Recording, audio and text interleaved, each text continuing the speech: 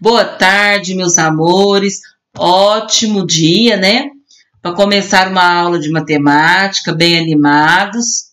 Vamos lá? A gente está encerrando esse capítulo, né? Então, ó, a primeira coisa que nós estamos vendo aí é um gráfico.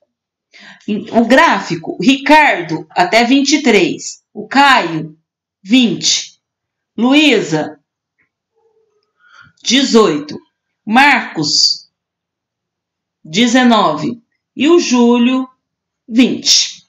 Então tá aí, ó. Qual é a criança com maior quantidade de quilogramas? Isso aí é o peso, é o gráfico que tá o peso de cada um.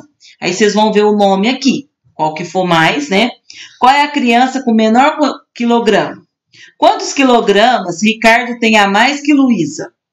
Quantos quilogramas Marcos tem a mais que Luísa?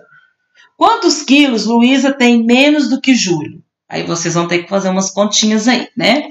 Essa aí da página 62. Vamos para a 63. A 63 é mexer com dinheiro, né, gente? Mexer com dinheiro é uma coisa muito legal. Então, o que, que vocês vão fazer? Vocês vão fazer as continhas aí, ó. Tem uma nota de 100, uma nota de 50, de 20, de 10, de 5 e de 2. Vocês vão somar todas elas, colocar o nome e escrever por extenso. Se você tiver dificuldade na hora de escrever por extenso, tem uma página aí no nosso livro de matemática, que é o capítulo anterior, que tem tudo por extenso. Ou se não, pede ajuda para mamãe, para alguém para ajudar vocês. Tá bom? Depois embaixo nós temos 50 mais 50, 20 mais 20 e 10, né? 20, 20, 20, 20, 10, 5, 2 e 2.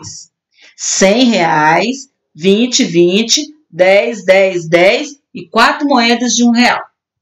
Tá certo? Super fácil. Agora vamos para os probleminhas, né? O primeiro aí é Sandra quer comprar uma boneca que custa 69 reais.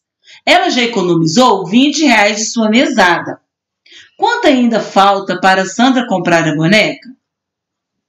Cole no quadro a seguir as notas que faltam para Sandra comprar a boneca. Pessoal, lá no final do livro tem sim o dinheirinho. Mas a tia Paula acha melhor vocês fazerem conta. E depois a gente usa o dinheirinho para a gente fazer uma outra brincadeira. Tá bom? Então vocês vão armar a continha, fazer para mim, eu quero com resposta também. Tá certo? Vitor quer comprar uma camiseta de 25 reais e uma bermuda de 22. Quanto ele vai gastar? Aí tá aqui. A seguir, as notas que Vitor usaria para pagar sua compra sem receber o troco. Tá? Então, qual aí? Manuela comprou um vaso de flores por 40 reais. Pagou com uma nota de 50. Qual foi o troco de Manuela? Aí tá falando para colar também. Não precisa colar. Vai montar as continhas, fazer a resposta. A operação e a resposta. Tá certo? Essa, essa página aí é 64. Agora vamos para 65. Olha a hora, olha a hora. Que a tia falou demais. A maioria dessas horas aí está após o meio-dia, né? Ainda hoje até comentei com meus alunos lá no, no terça-feira, eu comentei com eles no Zoom, certo? E aí, o que que acontece? Depois eu vou trabalhar mais isso com, com o pessoal que está online, tá? 20. Quando é 20, vocês vão fazer a conta depois do meio-dia. Após o meio-dia, a gente começa 13 horas. Vocês vão contando, 13 é uma, 14 é duas, daí por diante até chegar no 24. Tá certo? Então vocês vão saber que horas que vão ser 20 horas, que horas que vão ser 13 horas e 15 minutos, 16 horas e 30 minutos, 22 horas e 45 minutos. Tá certo? Agora, complete as frases com gramas ou quilogramas. Pedro tem aproximadamente 25. Uma banana tem aproximadamente 70. Três caixas de uva tem aproximadamente 200. Um morango tem aproximadamente 30. Então, vocês vão usar se é grama ou quilograma, tá? Na 66, nós temos aí o Caio. Essas são as moedas de Caio. Ele vai trocá-las por nota. Então, quanto que ele vai ter em reais? Essas são as moedas de Fátima. Ela vai trocar também por nota. Quanto que a Fátima tem?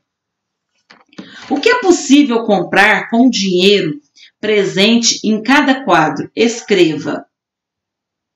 Então, o que, que vocês vão fazer?